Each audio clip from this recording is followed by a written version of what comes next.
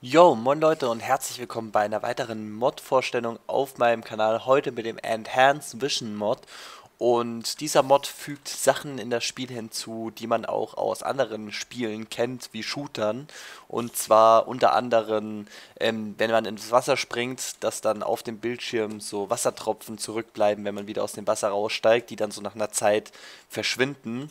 Ähm, was sehr schön ist, die Datei kann man natürlich ähm, selber anders da gestalten. Ihr seht hier, wie diese Wassertropfen hier auf dem Bildschirm kommen. Das gleich, den gleichen Effekt gibt es, wenn ich mal den Regen anschalte, was ich ja sonst eigentlich nicht so gerne tue. Aber wenn es jetzt gleich anfangen sollte zu regnen, dann werden wir das Ganze sehen. Okay, ich bin hier im Wüstenbiom, deswegen regnet es nicht. Auf jeden Fall, wenn es regnet und ihr schaut in den Himmel, genau, dann kommen die Wassertropfen auch. Es geht doch, hat nur etwas länger gedauert. Ähm, als nächstes möchte ich euch zeigen, dass zum Beispiel, wenn ihr von einem Skelett, das muss, dazu müsste aber Nacht sein, wenn ihr von einem Skelett angeschossen werdet, wenn es mal treffen würde, dass dann Bluttropfen auf eurem Bildschirm sind. Ihr habt das gerade gesehen, ich bin getroffen worden, es kommen so Blutsprengler. Man muss das Video wirklich in 1080p und in groß angucken, um das wirklich alles perfekt zu sehen. Aber ihr seht, mein Bildschirm wird immer blutiger.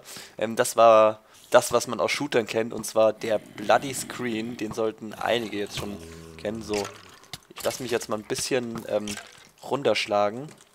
Kommt her. Von den Zombies. Und zwar, ähm, ihr seht, wie meine Blutspringer im Gesicht immer mehr werden. Und umso mehr ich in Richtung ähm, Tod gehe, kurz vorm Ende, kommt dann ein richtiger Bloody Screen, der mir anzeigt, oh Junge, jetzt wird's gefährlich, jetzt fängt das Blinken an ähm, noch ein paar Schläge und dann ist es aber auch wirklich aus mit dir. So, wir töten die zwei Chaoten mal. Und man hat so eine kleine Bulltime, wie ihr gerade gesehen habt, wenn man kurz vor Ende ist und wird geschlagen. Ähm, ja, so ein bisschen Bulltime war da jetzt drin. Ich tu noch mal einen Zombie rausholen.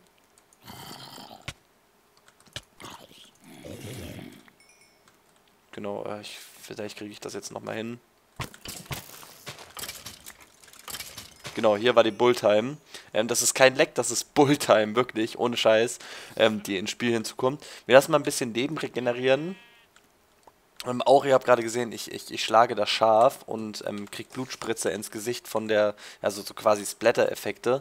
Ich hole nochmal ein Schaf raus, in der Zeit, wo wir eh warten, bis wir etwas regeneriert sind. Ähm, später sollen äh, Effekte von ähm, Zaubertränken, hier, da Blutspritzer auf dem Bildschirm. Ähm, später sollen noch Effekte von ähm, Wurftränken, wie zum Beispiel ja hier den Night Vision oder sowas.